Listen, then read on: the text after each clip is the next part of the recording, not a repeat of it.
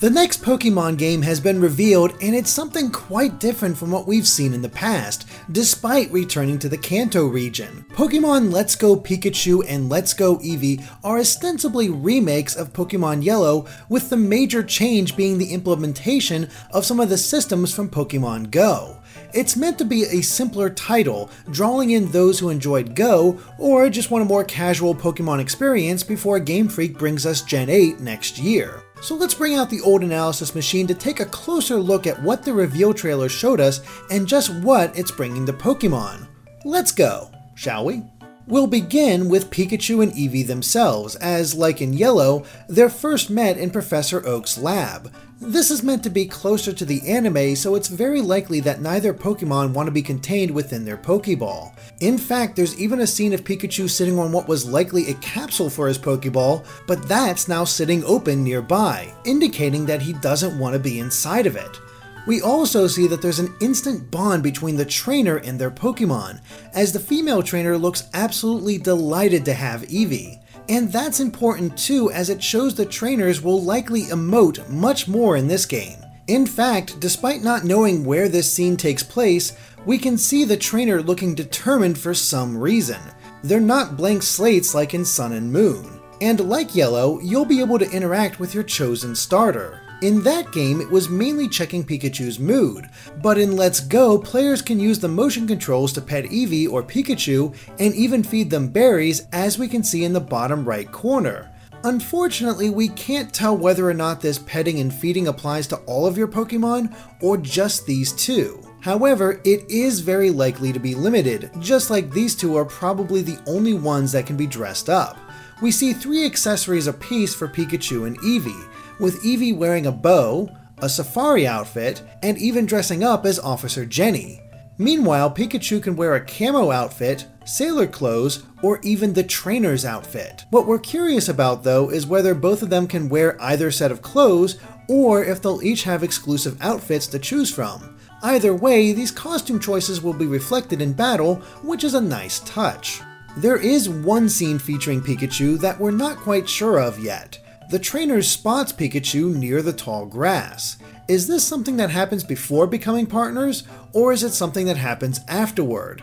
It's possible that this could be a reinterpretation of the scene where the trainer is attacked by a Pikachu only to be saved by Oak, but Pikachu doesn't exactly look threatening in this scene. That said, we are pretty sure that it takes place on Route 1. In fact, we think we can place most of the locations shown in the trailer. One of the first and most obvious is Professor Oak's lab, as Pikachu climbs onto the trainer's shoulders. It seems to be modeled closer to the incarnation seen in Fire Red and Leaf Green, as there's a large machine to the side. And another clip shows a bit more with Oak standing in front of his back wall where his computer, whiteboard, and desk are sitting, giving it more of a lab feel. There's even a picture frame on his desk and post-it notes on his desktop tower. A fun touch, though we don't know entirely if it's intentional, is that the post-its are red and blue, and so are the pens in Oak's pocket. For a Japanese audience, though, it would make sense for them to be red and green, but perhaps they're aiming more internationally this time with their references. It's not just the interior of Oak's lab that we see, though, as the exterior is shown as well. The design has been changed from the old games to stand out a bit more, but otherwise Pallet Town is the same. There's still the sign in front of the lab, another sign to the left marking it as Pallet, and two houses behind Oaks for your trainer and your rival. Even the guy that hangs out in front of the lab is still there. But this does raise the question, where is your rival? In yellow, Blue would receive an Eevee as his starter Pokemon. So if there is a rival, would he begin with the opposite Pokemon from the one you chose? It would make sense but we're not even sure the rival will be the same when the design of the trainers is quite different from the established Red and Leaf. What form will the rival take, if there even is a rival in Let's Go? Route 1 is also featured in several scenes, including one with Professor Oak. Here we see a flock of Pidgey fly away from him.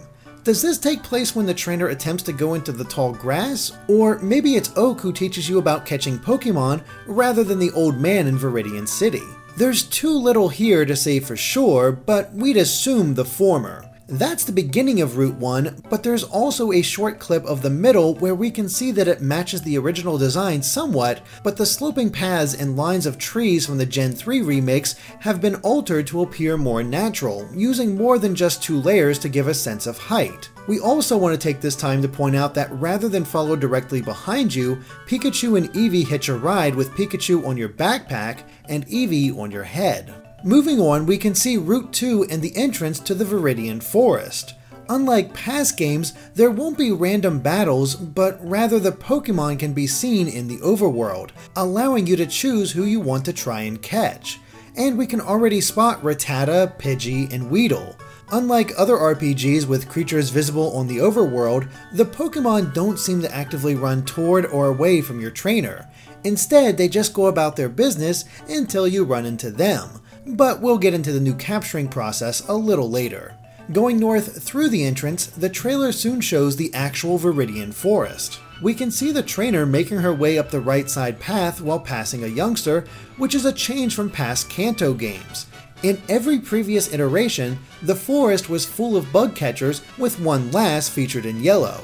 And we see later that bug catchers are still a trainer type, so it's just been remixed slightly. Otherwise, the makeup of Viridian Forest is remarkably similar, and it also confirms that trainers will be lying in wait like the mainline Pokemon titles. Continuing our tour through Kanto, we come across a town that seems to be Pewter City based on the nearby placement of the Pokemart to the Pokemon Center, which also confirms that the Mart won't be consolidated within the center like in the newer generations. Instead, they'll be separate to maintain each town's look.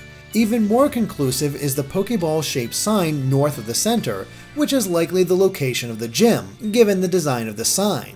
This also confirms that the gyms are returning to the game, something that's really not that surprising. What is different is that the set of rocks that sat in front of the gym, separating it from the Pokemon Center, has now become a fence, airing a little closer to the pewter city of Fire Red and Leaf Green. The next location is on Route 3, where players are riding an Onix, showing that trainers can actually ride bigger Pokemon rather than simply having them follow you. And Eevee and Pikachu still ride on top of you no matter what. While this section of Route 3 looks pretty nondescript, the extra footage shown during the presentation has Onix turn south at one point to follow along the path. And on the other side of the rocks, there's a smooth incline with no grass, which perfectly matches the area right before the entrance to Mount Moon. The next location is on Route 3, right before the entrance to Mount Moon. And the trailer actually shows this area with the Pokemon Center still right outside the mountain. In fact, the biggest difference to this spot is how the entrance to Mount Moon is now man-made, but we're soon shown the interior of Mount Moon, specifically the second floor basement. It has the same raised platform and even the leaking water from the Gen 3 remake. There doesn't seem to be any changes to the design either outside of the cosmetic upgrade. Pokemon wise, we can see Clefairy, Geodude, Paras, and a Zubat that rises out of the ground. This means that not every Pokemon will make itself known right away. They will shift and leave and come back over time. While we don't see Cerulean City itself, we do come across the Nugget Bridge, where the trainers are challenged by bug catcher Cale, which happens to be the same name given to this trainer in Fire Red and Leaf Green. The actual battle with Cale is a bit different from those games though, as you'll see once we cover the battle system. Otherwise, we can also see the top of Route 5 where there's still a tree that needs cut. A Q&A after the reveal presentation has confirmed that HMs won't be featured in the games, but how will this tree be cut instead? Are ride Pokemon back like in Sun and Moon? That doesn't seem to be the case considering you can ride bigger Pokemon naturally. It might be a completely new method such as actually giving the trainer tools. We just don't know yet. Next is the underground path that connects routes 5 and 6 and serves as the way to reach Vermilion City. There's not that much different about it though save the red and blue strips that run along the straight path. However, we do see the port of Vermilion City with a building on the left and the dock that leads to a set of bushes where an empty lot is lying on the other side. Unfortunately, there's not much else to see of Vermilion, but we do know that we'll be boarding the SS Anne. It can be hard to see, yet this is definitely the deck of the Anne and a battle against a sailor. An easier look features the interior of the Anne, where the trainer has Eevee use Swift against a fisherman's Horsea. Continuing on with our tour of Kanto, we see what we believe is Silph Co with the trainer taking on a Team Rocket grunt. It's not too surprising to see Team Rocket here with it being a remake of Yellow, and we even get to see their new team intro, but it does make us wonder if Jessie, James, and Meowth will make an appearance like they did in that game. It'd be pretty cool to see them in this style. But it's already pretty interesting to see the Pokemon Tower in Lavender Town through a battle. There are tombstones in the background indicating that despite the more casual nature of Let's Go, Game Freak isn't backing away completely from Pokemon's darker elements. The next route we want to feature is 14, where we see Electrode and Gengar following the trainers. It's one of the few places with water on the right that doesn't take place on a dock. We can also see a biker and a bird keeper with two of them side by side, which could mean an opportunity for a double battle. So far, most of the locations we've seen have been pretty close to their original incarnations, with only some minor changes, if any at all. But Route 17 Cycling Road has been overhauled almost completely. It still features water in the middle of the route and bikers to challenge, but there's one thing missing your bike. We see Route 17 several times, and not once is the trainer riding the bike. That also means there's no incline making it hard to go up the route or causing you to cycle back down if you release the D-pad. This means that either the bike is completely optional now, or that it was cut completely since players can easily run and there was no need for a speed up. It may also have been cut because of the multiplayer and the logistics of having the second player have their own bike. It seems simple offhand, but the way the second player is treated in Let's Go makes it a little more complicated since that extra player uses the first player's inventory. Not only did the route change because of the bike, but its entire design now seems significantly changed. At no point was there a thin patch of grass after water sitting in the middle of the route.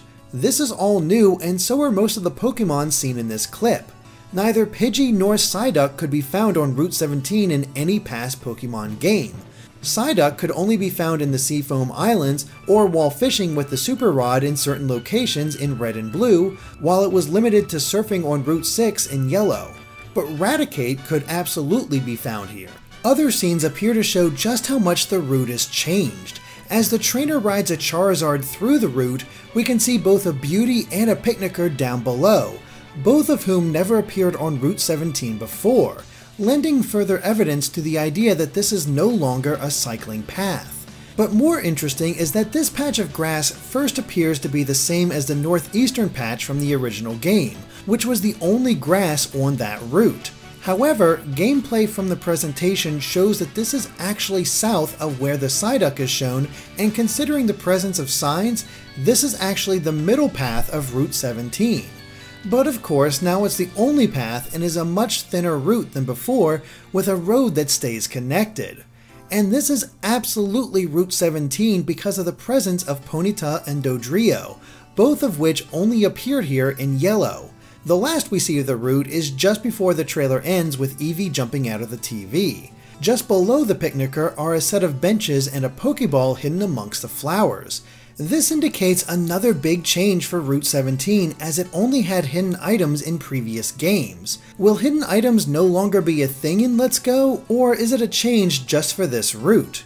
Either way, it makes us curious if any other areas will be as overhauled as this. For example, Fuchsia City has seen a makeover to give it more of a Japanese look, which ties into Koga's ninja theme even though the gym leader wasn't shown. Otherwise though, the layout is near identical other than the lack of a fence near the eastern house. Route 20 also appears the same, although it is just a water route. But seeing the trainer ride on Lapras does make us curious as to whether Surf is being used or if this happens naturally with Lapras in the same way as Onix and Charizard. In fact, could Charizard just fly over the water? And since there are no HMs, does Lapras just need placed in the first slot? These are mysteries that unfortunately don't have an answer yet. And finally, we have this encounter with Magmar, which was never available in yellow or red, only blue. So this must be the Pokemon Mansion. But it does raise the excellent point that Pokemon encounters do have to be remixed somewhat due to Yellow being split into two with Let's Go Pikachu and Eevee. So it makes sense to pull some of the Pokemon locations from the other Kanto games. Now we've seen plenty of locations in Pokemon, but one of the biggest changes in Let's Go is the way players will catch Pokemon. After all, there's no way to battle wild Pokemon in this game. Once you encounter one, the screen shifts to a Pokemon Go-like experience. There are four options available, Get Ready where you throw a Pokeball, Items to help you catch them though we don't see anything specific, Help which may give tips on throwing Pokeballs, and run away to get away from the encounter as quickly as possible. If Get Ready is chosen, it really does become like Go, even down to the circle indicating the best time to throw a Pokeball while indicating how tough the capture is. The darker the circle, the harder the catch. The timing aspect of throws has also been carried over from Go as ranks such as Nice and Great can appear when the ball hits the Pokemon at just the right time, likely improving your chances of catching that Pokemon. What's really curious though is the stats shown in these wild encounters. In this case, the Clefairy's level and gender is shown, which is standard, along with its CP or combat power, which is lifted from Pokemon Go. In Go, CP is used to indicate how much power your Pokemon has when challenging gyms. But since Let's Go has proper levels and, as we'll see later, the standard battle system, it seems pointless to list. Perhaps the amount of CP indicates what a Pokemon's level will be, which would make sense considering Pokemon can be transferred from Go to Let's Go, so they would need levels in this game. But even that's strange as why would the Pokemon that appear in Let's Go need CP when they can't be transferred to the mobile game? It feels like there's an element to this that hasn't been properly explained yet. While it's not explained in the trailer, it stands to reason that the number that appears below Pokemon during wild encounters denotes how many Pokeballs the player has. It shows 32 below Clefairy and 31 for Psyduck. We'll cover the multiplayer soon enough, but we are curious if playing with a friend means that two Pokeballs are used if both are thrown at the same time. It would make sense, but it's not confirmed. It is shown, however, that Pokeballs aren't the only thing that can be thrown at a Pokemon. Ultra Balls make an appearance as well, which naturally means Great Balls will be there too, each one increasing the catch rate. Despite that, the dark orange coloring on the Snorlax's circle indicates it's still going to be a tough one to get. And is this one of the Snorlax blocking a route until you get the Poke Flute, or can it be spotted in the wild? This one change to the battle system tweaks more aspects of the game than you might think originally, such as, will the Master Ball appear like it did in Yellow, or will it be skipped entirely in favor of a challenge? After all, there's a scene showing the showdown with Mewtwo, which has much more of an introduction than the original games. It might come across as a bit of a letdown if you can just toss a Master Ball at it and catch it immediately like in those games. Of course, it would also be a shame if you threw the Master Ball and whiffed completely. Talk about heartbreaking. Once you catch a Pokemon, you'll naturally get its Pokedex entry, and the Pokedex shows much of the information that you would expect, such as its gender, type, and a small entry about it. But these aren't new entries. Instead, they're lifted almost exactly from Pokemon Yellow, further cementing the idea that this is a remake of that game. Beyond that, the Pokedex shows how many Pokemon of that type you've caught and their record heights and weights. You can also put it in motion and change the language on the fly. However, the most interesting aspect of the Pokedex is the option to change the Pokemon's form. This indicates that Alolan forms of the first 151 Pokemon will be featured in the game, something confirmed during the presentation's Q&A. This makes a lot of sense considering Pokemon Go has just introduced Alolan forms, well before the brand new Gen 7 Pokemon are even considered to be added to the mobile game. Tying into the catching aspect is the brand new two-player option. From everything we've seen though, it doesn't look like the second player can import their trainer into the game for the co-op, at least not yet.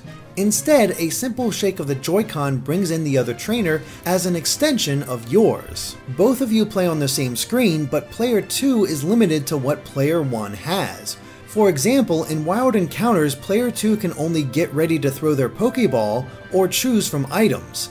Even though we're not shown them, we can assume that player 2 simply pulls from the items that player 1 already has. While this might use up resources more quickly, there are benefits to it.